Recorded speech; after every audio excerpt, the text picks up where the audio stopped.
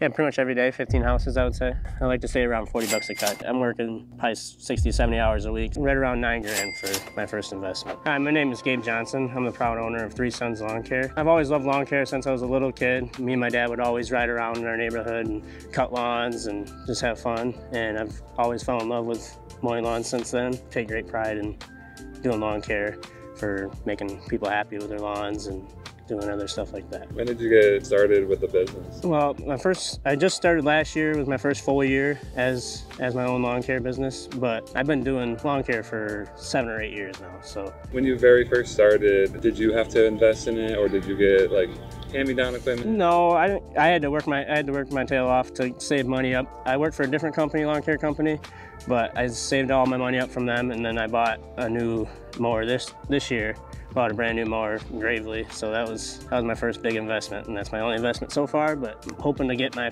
truck for next year. But we're working on things, just trying to get more and more clients, being just having, having happy clients. Can you say how much the lawnmower cost? Yes, the lawnmower was uh, right around nine grand for my first investment. So what were you using beforehand? Well, actually, so I did get a little sorry, but I got a little handy down from my buddy's dad. I, I cut his lawn for free, but I got to use his lawnmower for my other clients. So that was last year. I was using a little sit down 52 inch uh, Exmark. So that, that he, he was the first one to really get me going, but I bought my own money with, or bought my own mower with, with the money I earned last year. So. And what made you transition from having like working for a company and then thinking like, oh, I can do this on my own and then going out into that? When you're working for a different company, I just like to be my own, I don't like to be my own boss and make my own hours and just for me, it's just making, my biggest thing is making my clients happy and just, I just love seeing my clients smile and happy with all my work. But that's my, I've always loved it doing lawn care with a different company, but it's just, I just wanted to do, go on my own and try to figure out the struggles of being on my own and doing stuff like that. And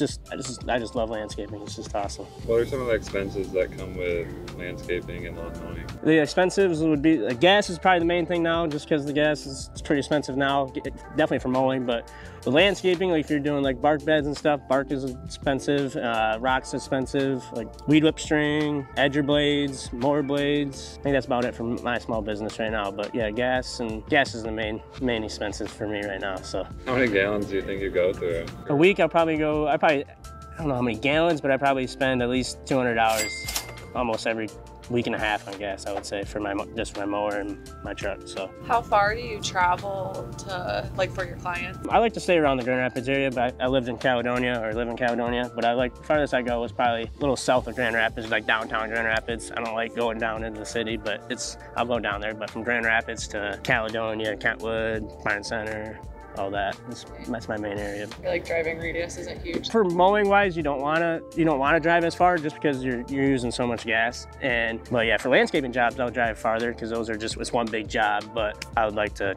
keep for for mowing. I like to keep it nice and uh, tense routes, just so I don't have to drive as far. Are you doing a lot of suburbs? Yeah, I'm, I yeah I like to I like to when I get one client in like a neighborhood like like I'm in a neighborhood with you guys right now. I like to I like to knock on doors and put out like my uh, yeah cards and stuff, business cards and door hangers. So I'll just go around every time I see a lawn that I mow and she likes it, and there's another neighbor that hasn't been mowed and it's long. I'll go knock on her door and say, hey, my name is Gabe, and we go from there and like I, for instance, have one Kentwood. I just got one this year. It's brand new brand new client for me, and then now I have 10 in there. Within within a month, I got 10 clients because I knocked on the door and I take care of the lawns and I try my best and yeah, trying to make people happy. Do you do any other forms of advertising? I do on uh, Facebook, so I have Facebook, and then I'm trying to work on Google right now, like the Google, the Google, so people can search me, but it's kind of being a little pain right now, but we're getting to it. So Facebook is my main one, and I have an Instagram too for Three Sons Lawn Care would be, if you guys look that up, and it should be on Facebook and everything everything. So. Are you spending money on advertising apart from like business cards, or is it just like very, very like word of mouth? Yeah, word of mouth is the big is the biggest thing. But I'm trying to figure out on Facebook they have like this they can like boost the post on it, but it, like it never and it's like I'll have the area Grand Rapids or whatever, but then I get people from like Louisiana and like Texas and everything. So I'm trying to. It's weird it won't let me just like it says it does. Like it says it, I'm in the Grand Rapids area, but. It, always have people, have more people from out of state than I do actually in the state. So Yeah. word of mouth is probably the biggest thing. How big are the yards? Does that make it difficult? Like what what are some challenges? For like little houses like in this neighborhood that are just small, it's like just rock beds and like bark beds that I, I just don't want to spray grass into and it's just such a tight area. But for like big lawns, that's that's why I love doing big lawns because there's no there's unless there's trees. But the trees are another thing I don't like going around. But like yeah, I like to I like to stay lawns that are just square and simple and but if I I'll mow any lawns though. And just I love mowing so. And when you started out, did you start by yourself or did you have an employee or did you have family? Yeah, so it's uh, my dad also. He had back in the day. He had uh, he started his own lawn care and he called it Three Sons, and he couldn't get it going, but because he had uh, he had health issues. But anyways, yeah, my dad really made me want to get into it more because he started it and he just couldn't get it going. And now we're yeah, it's just me and my dad right now. So me and my dad and I have every other Friday I'll have my buddy help me or my brothers. Sometimes my brothers come and help us too, but it's usually just me and my dad. How did you come up with the pricing structure? So I, I, I like to mow it first, to be honest with you, just to see how long it takes. Like if I can mow a lawn like 30 minutes or an hour or whatever, then that's just how I, I take a lot of, like weed whipping is another big thing. If there's a lot of weed whipping, a lot of poles or a lot of just beds that go around and a lot of other stuff that go around, I charge a lot more, lot more for that because mowing is a lot easier than weed whipping and edging. So I think that's really comes down to is weed whipping is the biggest, biggest thing for me. So are you charging like per time? I, I want to charge per time, but I'm still trying to figure that out. So I just charge like per month for everybody for four cuts. So every four cuts, I'll just have them send me a check or have them send it for QuickBooks or whatever. So And what is your like price range for from like the smallest lawn to like the largest? so I like to keep everybody under like or everybody at like 40 bucks a cut, but I'm still slowly getting up there because everybody doesn't want to pay 40 bucks a cut. So if I say 40 bucks a cut, 40 times four is like 130 a month is probably like the cheapest I go. But I like to, yeah, I like to stay around 40 bucks a cut. That just seems like my best where I can actually make revenue for my company. And are you is that like standard or That's actually, if you look for for a small company, that might be standard. I'm not sure, but for like company I used to work for, they charge a lot more than that. is that like what you're averaging? Yep, all my houses are all different, like all different price. But if I'm in like a neighborhood, I like to just have everybody's same price because I'm in the neighborhood and I don't have to use any of my truck gas or anything. So I like to keep it in the everybody in the same range if, if they're all right, if all the houses are right together. What price point do you think is too low to start at and what price point is too high? For an average neighborhood, I wouldn't. Too low would be like fifteen dollars a cut, and then too high would be like seventy dollars a cut if you're first starting. If you're charging seventy dollars first cut, and that's just ridiculous. But some people do. But I would say the average is like from twenty-five to forty-five. I would say for starting off. But once you get more experience and you get more experience in quoting, quoting people, and then you feel more confident about yourself and your work that you do, you can charge more because you know you're doing a lot better job than say the guy that cuts a lawn and leaves all the grass all over the lawn. So What does your typical day to day look like? I wake up at like 7:30 and drink my coffee and just get all my mowers ready. I sharpen my blades every two yeah, two times a week. I sharpen my blades so the grass doesn't die. And I usually get on my first lawns by like 8:30, 9 o'clock. So that's yeah, just mow, mow. I mow probably 15 houses every yeah, pretty much every day. 15 houses, I would say. And then what time are you done? It really just depends, but if it's the grass is long, but right now it's long, so usually I'm done by six. I like to be done by six just because I want to be just courteous to all the people getting home from work and not hearing a bunch of noise when they want to hang low. Do you ever work on the weekends? Yes, I work. I don't like working on Sundays, but Saturdays I work pretty much every Saturday. That's when I start. On Saturdays I do my landscaping jobs. So like mowing, I mow Monday through Friday, and then I do landscaping. Try to do landscaping jobs every Saturday, but sometimes I don't get those. That's what I'm trying to get more of is landscaping jobs. Like percentage wise, how much are you doing like landscaping versus Landscaping, I probably do maybe two jobs a month, two or three jobs a month. Mowing, yeah, I mow a lot. Mowing is my main thing just because it's a lot easier to get. Everybody wants mowing. Mowing's a day or a weekly thing. Landscaping isn't really. It's whenever, yeah, whenever they need. would you say that your percentage of like revenue from landscaping is much higher than mowing? or- I would say so unless I quote it. If I quote it wrong and I make a big mistake and it takes me, say I quote something for only like $500 and it takes me two days, and then that's I'm not gonna make that make that money because I'm working 24 hours on one job and then I'm, I quoted her for way less than I should have made. Do you have any commercial properties? I have most residential, but I also do. So my brother, he works at a like a he's a special needs teacher, and his boss. So I mow her like this little business off of uh, East Paris by Broadmoor and or East Paris 28th Street or whatever. So mow that one, and then I mow a church too. So just two commercial ones. Do you charge more? Yes, I do, because that's just there's so much more pain. Like if you're on 28th Street, and you get cars, you're trying to edge, and it's just like kind of kind of deadly to be honest with you. you can get hit by a car. What are some of your plans on like expanding or growing if you want to? Well, I really want to get up to my, my first goal this year. I'm trying to take it slow just because I don't want to make any mistakes. Just want to learn my customers as it goes and learn all the pains and grows and everything about it. And but I want to get to like I'm at like 45 right now, 45 clients right now. So I want to get to by like 80 by the end of the year would be great. But we're gonna I'm really pushing it. But my biggest goal is just to make people happy. Is just that's that's my I don't want to be have 130 130 clients, 140 clients, and they're all mad. They're not all mad, but I got like 10 mad. I want to make my biggest yeah my biggest thing is making my customers happy. So I'd like to be a small company where I can still make my own living and live on my own and all that.